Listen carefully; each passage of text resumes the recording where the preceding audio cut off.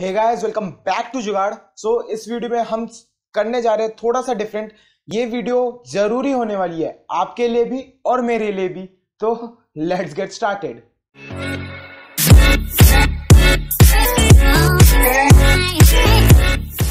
इस वीडियो में हम करने क्या जा रहे हैं? इस टाइम पीरियड में हमारे स्कूल्स में प्रोजेक्ट सबमिशन का टाइम स्टार्ट हो चुका है. हो क्या रहा है? फिजिक्स में प्रोजेक्ट हमें बना के देने हैं, ठीक? प्रोजेक्ट्स हमें बना के देने डिफरेंट डिफरेंट टाइप से कैटेगरीज जो हमारे पास है, वो है हम अपने जो भी कोर सब्जेक्ट हमारा फिजिक्स इनमें जो हमें पढ़ाया जा रहा है, इनसे रिलेटेड प्रोजेक्ट जो हमारा ट्रांसफॉर्मर हो गया, हमारा फुल वेव रेक्टिफायर हो गया हाफ़ वेव रेक्टिफायर हो गया, हमारे हो गए क्या कहते हैं गेट्स हो गए एंड गेट नॉर गेट इस टाइप के प्रोजेक्ट्स होते हैं। तो इसी से ये प्रोजेक्ट की कीमत जो है थोड़ी सी ज़्यादा होती है। ज़्यादा किस सेंस में? मार्क्स के सेंस में। क्योंकि ये प्रोजेक्ट्स आपको दिलाएँगे 20 मार्क्स आपके बोर्ड्स एग्ज़ाम में। तो उसी के लिए ये वीडियो मैं बना रहा हूँ। करना क्या है इस वीडियो में? ये प्रोजेक्ट जो है दो देखो भाई, दो चीज़ होती है। अगर आप ये प्रोजेक्ट्स को एक मार्केट से खरीदते हो तो तकरीबन सौ रुपए के आसपास का मिलता है प्रोजेक्ट अगर मैं फुल वेव रेक्टिफायर आज मैं बना रहा हूँ, ठीक? Full wave full wave rectifier बना रहा हूँ तो उसके बारे में मैं आज बात करूँगा।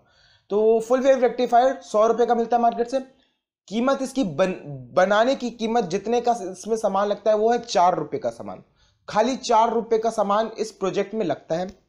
दूसरी बात यार जो एग्जामिनर सामने आपके बैठा होता है ना वो हर साल डील करता है बच्चों के साथ। उसको मालूम है कौन सा प्रोजेक्ट रेडीमेड होता है कौन सा आपने खुद से बनाया अपने हाथ से। तो वो एक अलग सा इंप्रेशन डालता है। तो वो कुछ भी देखो एक रेडीमेड प्रोजेक्ट में अगर आप उसको दोगे तो 20 के जगह 18 से 15 मार्क्स ही देगा, क्योंकि वो रेडीमेड है, क्योंकि दिख के लग जाता है। देखने से उसको पता चल जाता है। और जो आपने खुद बनाया होगा, अगर वो गलत भी बनाए होंगे तो भी आपको 20 मार्क्स देगा, क्योंकि उसको ये दिखाई पड़ता है कि बच्चे ने मेहनत की है। तो इस वजह से ये वीडियो मैं बना रहा हूँ। आपको बनाऊँगा मैं फुल वेव रेक्टिफायर जिसके लिए हमें कॉम्पोनेंट चाहिए, खाली चार डायोड्स डायोड्स जो हम पढ़ रहे थे फुल ब्रिज रेक्टिफायर मैं फुल वेव रेक्टिफायर नहीं बना रहा हूँ। फुल ब्रिज रेक्टिफायर बना रहा हूँ। क्यों फुल ब्रिज रेक्टिफायर बना रहा हूँ? जैसे ये प्रोजेक्ट आपका एग्जामिनर के सामने जाएगा ना, वो देख के समझ जाएगा ये बंदे में कुछ तो अलग बात है। वो देख के समझ जाएगा क्योंकि फुल ब्रिज रेक्टिफायर हमारे कोर्स में नहीं होता है। एक एडवांस प्रोजेक्ट होता है। बोर्ड्स में एक्सेप्ट करते हैं इस प्रोजेक्ट को। ऐसा कुछ नहीं कि वो कार्ड देंगे या मार्क्स नहीं देंगे, ऐसा कोई दिक्कत नहीं होगी आपको। तो हमें चार डायोड चाहिए। डायोड्स मैंने निकाला है, क्या कहते हैं, अपने पुराने मदरबोर्ड से जो भी खराब हमारे सर्किट्स होते हैं उनमें से। तो डायोड में अगर आपको दिखा दूँ ये छोटा सा डायोड होता है। ये मैंने निकाला है। जनरली आपको आपको ये चीज़ आपको मिल जाएगी, जो पावर एडॉप्टर्स होते हैं, उनके अंदर ज़रूर से मिल जाएँगे। चार पीस तो मिलते ही होते।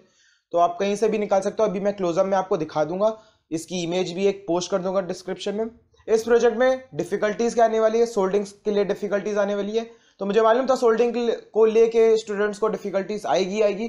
तो उसके लिए मैंने एक सेपरेट वीडियो बना चुका हूँ। सोल्डिंग की सारी बेसिक टिप्स जो भी तरीके होते हैं सोल्ड करने के, सब ए टू जेड सारे डिटेल्स मैंने बता दिया पिछली वीडियो है मेरी। एंड में एक कार्ड आएगा, उसमें आप क्लिक कर दियो।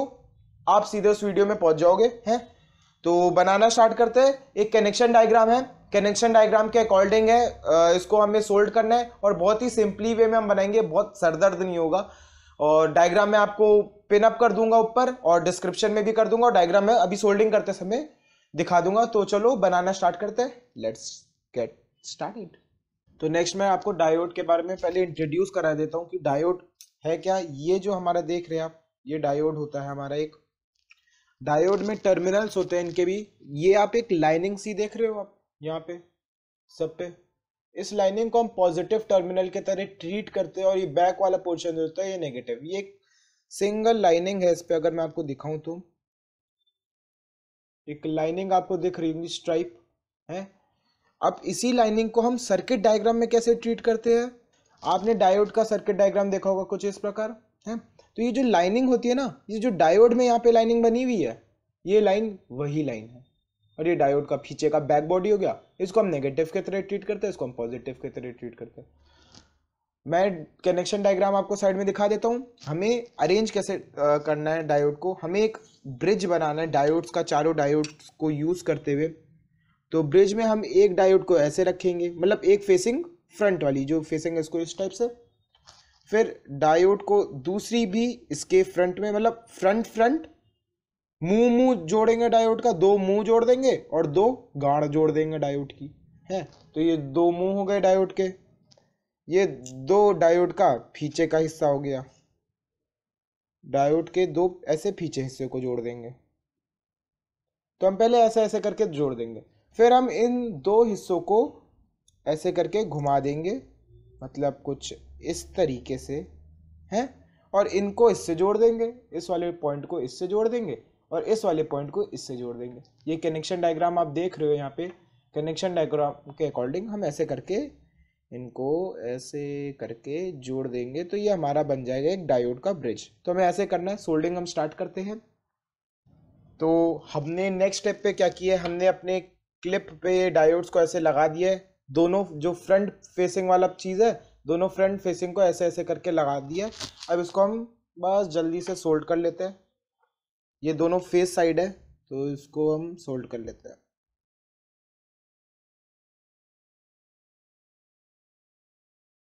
इस टाइप से हमने इसको सोल्ड कर लिया है। देख सकते हो आप? तो इसको मैंने सोल्ड कर लिया। ओ फक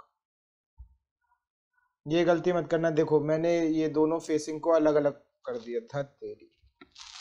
ये देखिए, ये फ्रंट और इसका बैक को मैंने कर दिया। तो ये कनेक्शन मैंने गलत कर दिया। फिर मुझे इसको हटाना पड़ेगा। तो इसको मैं ये करके हटा दिया।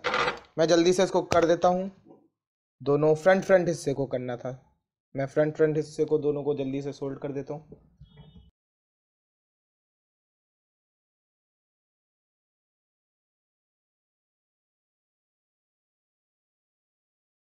ये हो गया मैंने दोनों डायोड्स के फ्रंट हिस्सों को आपस में सोल्ड कर दिया। अब हम दोनों डायोड्स के, बचे हुए दो डायोड्स के बैक हिस्से को सोल्ड करेंगे।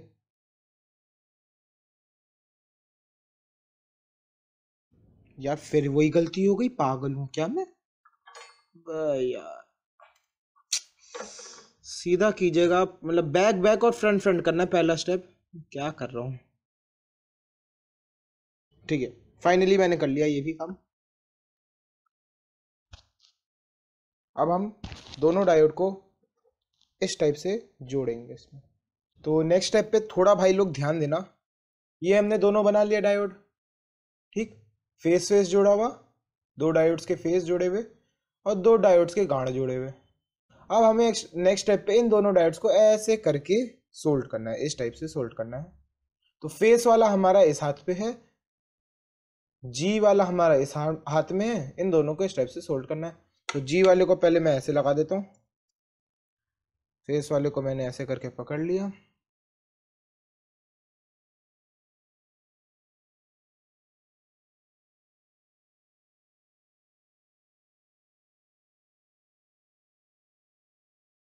तो अब जादू क्या हुआ? ये चार डायोड से मिलके हमारा एक फुल ब्रिज रेक्टिफायर बन चुका है। हमारा प्रोजेक्ट बस इतना ही सा था। यही हमें बनाना था। अब करना क्या है, होता क्या है डायोड्स के जो ये पार्ट है फेस वाला पार्ट और जी वाला जो पार्ट है, इन दोनों पार्ट से हमें डीसी वोल्टेज मिलेगी मतलब ये पार्ट और ये पार्ट और जो ऊपर वाले, बीच बीच वाले टर्मिनल है ना, इसमें हम डालेंगे हम अपनी क्या कहते हैं एसी वोल्टेज तो इन दोनों पे एसी वोल्टेज डालेंगे, यहाँ से हमें डीसी वोल्टेज ऑप्टेंड हो जाएगी. तो अब हम वर्किंग मॉडल हमें बनाना है भैया. तो अब हम इसमें वायर्स को एक्स्ट्रा अटैच कर देते हैं. तो वायर्स के लिए मैं यूज़ कर रहा हूँ दो ऑप्टिकल फाइबर वाले वायर्स ठीक नॉर्मल वायर्स होते हैं, ये भी कॉपर के होते हैं। और इन वायर्स में एक मैं इनपुट के लिए ले लूँगा, एक आउटपुट के लिए। और वायर्स को एक इस पे, इन दोनों पे जोड़ दूँगा एसी वाले पे, इन दोनों पे और एक इन दोनों पे जोड़ दूँगा। तो वो कर लेते हैं पहले।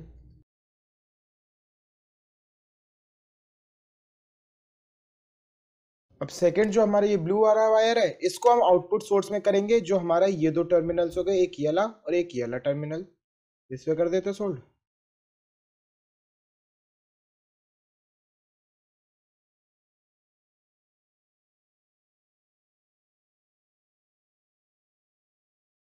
तो हमारा फुल ब्रिज रेक्टिफायर कंप्लीट हो चुका है। एक छोटा सा काम बाकी है। छोटा सा काम क्या? सजाने का। वो मैं आपको बताऊँगा नहीं, क्योंकि मुझे मालूम है वो काम आप मुझसे लाख गुना ज़्यादा बढ़िया कर सकते हो, है? फ़िलहाल मैं सैंपल एक दिखा दूँगा, मैं अपने प्रोजेक्ट को किस टाइप से बना रहा हूँ, ठीक? ताकि आपको एक आइडिया सा लग जाए। तो मैं कार्डबोर्ड लूँगा, उस पर बनाऊँगा मैं। तो वो मैं बनाने के बाद आपको बताता हूँ कि मैं कैसा बनाऊँगा। तो हमने सारा कनेक्शन करने वरने के बाद, सारी मगजमारी करने के बाद पूरा कंप्लीट बना दिया है। और मैंने जितना मेरे पास भाई टैलेंट था ना, उस टैलेंट से मैंने उसको सजाने का ट्राई किया है। मुझे मालूम है बहुत घटिया सा सजा है अभी मैं दिखाता हूँ आपको। और तो मैंने ये बनाया मैंने किया क्या है? देखो एक लंबी सी मैंने आ, ये क्या कहते हैं कार्डबोर्ड टाइप की शीट ली है ठीक? इसमें मैंने अपना रेक्टिफायर को हॉट ग्लू से चिपका दिया साइड में दो टेप्स कर दिए।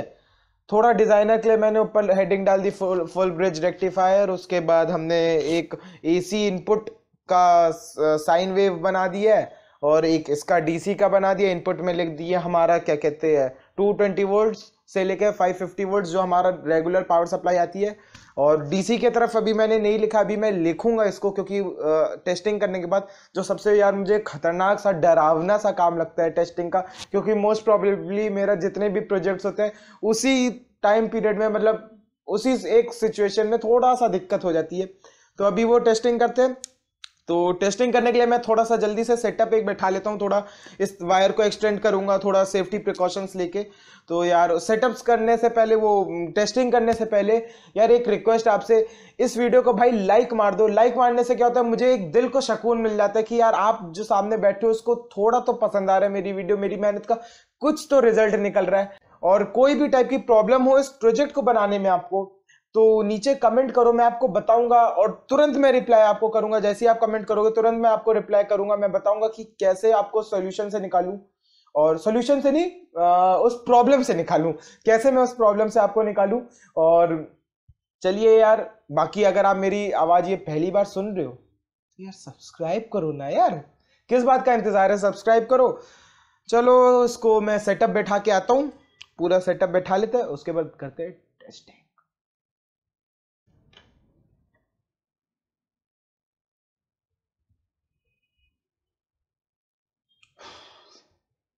डर लग रहा है भाई। ऐसे मत देखो, डर लग रहा है मुझे कसम से। क्योंकि यार, क्या बताऊँ, चलो करते हैं। किया क्या मैंने? ये था हमारा। यहाँ से दो मैंने वायर मोटा सा कनेक्ट कर लिया वायर्स को। ऐसे मोटे मोटे दो वायर्स। और और हाँ एक चीज़ मैं बताना आपको भूल गया था। ये मत सोचना डीसी करंट अगर आउटपुट आ रही है तो आपको करंट नहीं लगेगा। मैं इसमें 230 वोल्ट या 220 वोल्ट के तकरीबन अभी चेक करके बता दूँगा। मैं एसी वोल्ट दे रहा हूँ तो तकरीबन उतना ही डीसी वोल्ट आएगा। अगर आप 12 वोल्ट 20 वोल्ट और इवन 30 40 वोल्ट भी डीसी को छुओगे ना तो आपको करंट नहीं लगेगा, हल्का से टिंगलिंग टिंगलिंग गुदगुदी सा लगेगा। लेकिन इतने हाई वोल्टेज में भी करंट लगता है। हाँ एसी करंट के मुकाबले करंट जो आपको फील होगी वो कम होगी, लेकिन हाँ फिर भी लगेगा। मरोगे नहीं, चिंता मत करो, छू के ट्राई मार लेना। तो चलो ट्राई करते हैं। मैंने इसको कनेक्ट कर लिया है। मल्टीमीटर से पहले मैं आपको चेक करा देता हूँ। पावर सप्लाई को मैं एसी में लगा रहा हूँ। एसी वोल्टेज पे। तो अनफॉर्चुनेटली अभी मेरे घर पे जो वोल्टेज आ रही है, वो थोड़ी ज़्यादा ही आ रही है। हट जाए जा रहा है। अनफॉर्चुनेटली जो वोल्टेज आ रही है ना वो भाई हमारे घर पे, थोड़ी ज़्यादा सी आ रही है ये ये आ रही है 258 वोल्ट अगर आप देख पा रहे हो 258 257 ऐसी। राउंड ऑफ़ ले ले तो 260 वोल्ट के तकरीबन आसपास आ रही है। तो यार 260 वोल्ट झेल पाएगा? देखते हैं, वो तो लगाने पे पता चलेगा। तो अभी मैं लाइट कर देता हूँ ऑफ़ तार को लगा दिया मैंने अंदर। इसको यहाँ रखते हैं। हैं? ठीक। सब तैयार है? भाई यार, कोई आके चला दो यार, उसको मेरी कसम से ना। देखते हैं।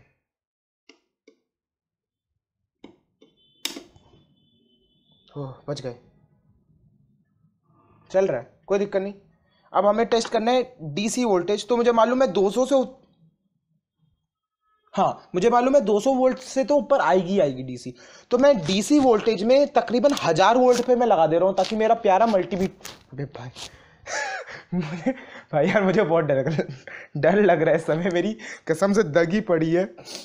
हाँ तो मैंने अपने मल्टीमीटर को हज़ार वोल्ट पे लगा दिया ताकि मेरा प्यारा मल्टीमीटर ना मरे। और बिना छुए इसको प्यार से मेज़र करते हैं, देखे कितना आता है भैया। हाँ।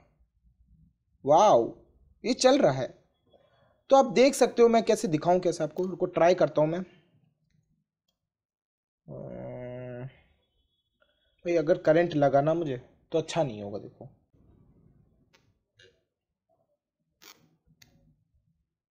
आ,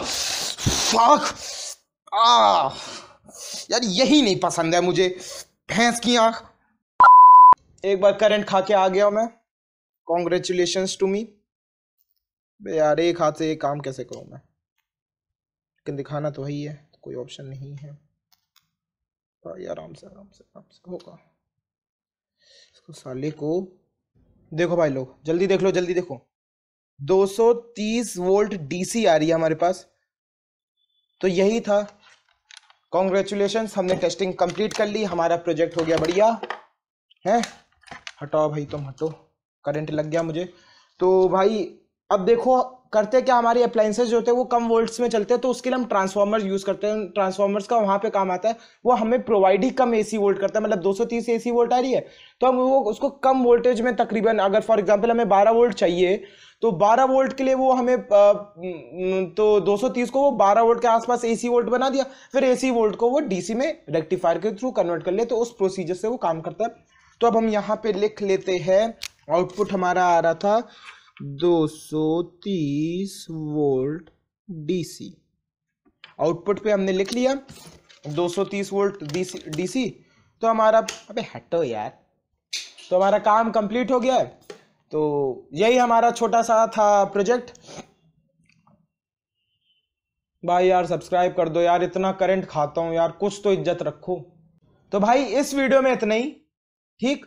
मिलते हैं अगले संडे को। अगले संडे को लाते कुछ नया जुगाड़।